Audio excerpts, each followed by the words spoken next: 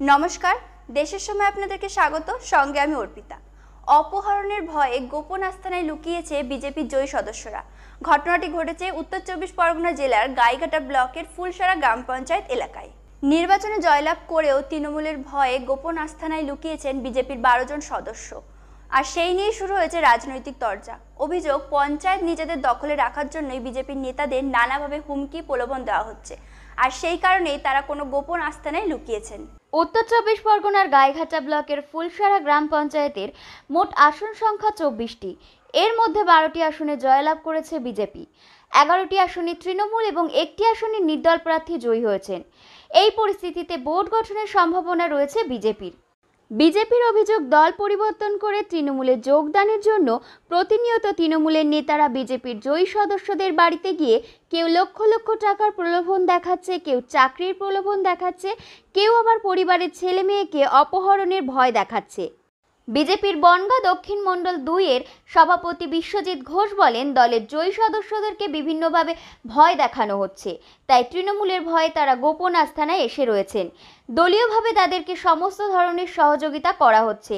তৃণমূল যাতে আক্রমণ করতে না পারে, তার জন্য দলীয় কর্মীরাই দিনরাত বাড়ির বাইরে পাহারা দিচ্ছেন। এই পরিস্থিতিতে তৃণমূলের হাত থেকে বাঁচতে, বাড়ি ছেড়ে সপরিবারে গোপন আস্থানায় আশ্রয় নিয়েছেন বারো জন জয়ী বিজেপি সদস্য। তাদের বক্তব্য তারা কোনোভাবেই দল পরিবর্তন করবেন না। মানুষের ভোটে তারা জয়লাভ করেছেন। তৃণমূলের দুর্নীতি এবং অপশাসনের বিরুদ্ধেই তাদের এই লড়াই। তাই তারা তৃণমূলের হাত থেকে বাঁচতে এবং স্বচ্ছ পঞ্চায়েত গড়তেই আপাতত গা ঢাকা দিয়েছেন। জানা গেছে, আগামী শনিবার ফুলসারা পঞ্চায়েতে বোর্ড গঠন করতে চলেছে বিজেপি। আর ততক্ষণ পর্যন্ত দলের জয়ী সদস্যরা গোপন আস্থানাতেই আশ্রয় নিয়ে থাকবেন। যদিও বিজেপির এইসব অভিযোগ মিথ্যা বলে দাবি করেছেন তৃণমূল। নির্বাচনের আগের থেকেই আমরা আশঙ্কা করছিলাম যে ওরা বিভিন্নভাবে আমাদের ফাঁসাতে পারে। সেটার জায়গায় থেকেও আমরা জয়যুক্ত হয়ে বারোটা ক্যান্ডিডেট জয়যুক্ত করতে পেরেছি। কিন্তু আমরা একটু চিন্তিত আছি।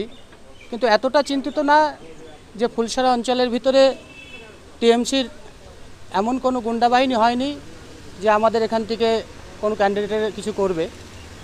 এবং ক্যান্ডিডেটরা ভয় পাচ্ছেন বলে আমাকে বলেছে আমি আমার এখানে নিয়ে এসে রেখেছি। থাকতে দিচ্ছে না। কারা দিচ্ছে না থাকতে? টিএমসির লোকেরা। কি বলছে ওরা ভয় দেখাচ্ছে বলছে যে আমাদের বিজেপির মেম্বারদেরকে কিনে নিয়েছে এটা ওটা। ওদের দলে চলে যেতে বলছে? হুম। আপনারা কি যাবেন না? না। কেন যাব আমরা? কি আপনাদের কেন যাবেন না? কি চিন্তা আমরা যাব না। কেন যাব? বলছে কি? কি বলছে ওরা? কি বলছে? বিজেপির পতাকা আমরা হাতে নিয়েছি এটা নিয়েই আমরা বাঁচবো এটা নিয়েই আমরা চলবো। বাড়ি ছেড়ে আসতে হয়েছে তৃণমূলের যে হারমাত বাহিনী তাদের অত্যাচারের ভয়ে আমরা এখানে এসেছি। আমরা চব্বিশটা বুথের মধ্যে বারোটাতে জয়ী হয়েছি। আমরা বাড়িতে থাকতে পারতাম কিন্তু আমাদেরকে নানা রকম অফার দিয়েছে টাকা দেবে ছেলের চাকরি দেবে তাতে আমরা কেউ রাজি হইনি। এখন ওরা চাইছে একটা অন্য পথ বেছে নিতে, হয়তো কিডন্যাপ করবে। আমরা কোনো দলে যাব না। বিজেপির পতাকা ধরে এসছি, বিজেপিতেই থাকব। এই জন্য আমরা এক জায়গায়, নিরাপদ জায়গায় আশ্রয় নিয়েছি আমরা। কোন রাজ্যে বাস করছি? যারা বিজয়ী হয়, তারা মনের আনন্দে চারিপাশে ঘুরে বেড়ায়, কিন্তু আমরা এটা পারছি না। কেন পারছি না? আমরা আপনাদের সামনে একেবারে খোলাখালি মুখও খুলতে পারছে না, কারণ আমাদের মনে ভয় আছে, আতঙ্ক আছে।